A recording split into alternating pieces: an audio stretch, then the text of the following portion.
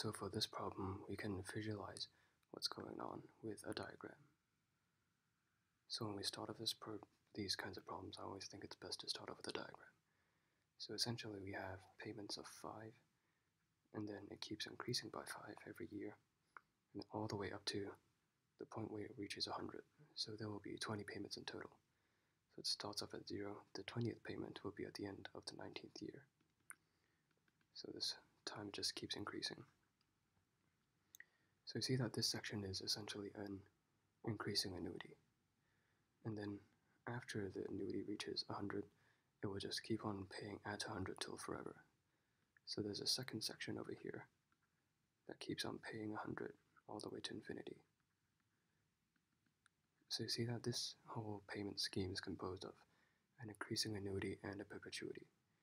So if we want to find the present value, of this payment scheme, we can just break it up into these two components. So the first component is an increasing annuity, and it's annuity due. So notice that the payments start uh, at the start of each year. And then for this section, we can find the present value of this perpetuity, which would give us the value at time 20, and then we can bring it back to time 0. So the present value at time 20 of all the subsequent payments is just 100 divided by d. This is the formula for perpetuity. So this is the present value of all these payments at time 20. So bringing it back to time 0, we just do v to the power of 20th. So essentially we can just substitute numbers into this formula, and then we can get our answer. But then we can actually uh, simplify this problem a little bit. So let's write out the formula for the increasing annuity. So divided by d. So if this were not an annuity due, this was an immediate, this would be I at the bottom. But because the payments start at the beginning of each year, there's a it switches out to a D at the bottom. Plus, so 100 essentially 5 times 20.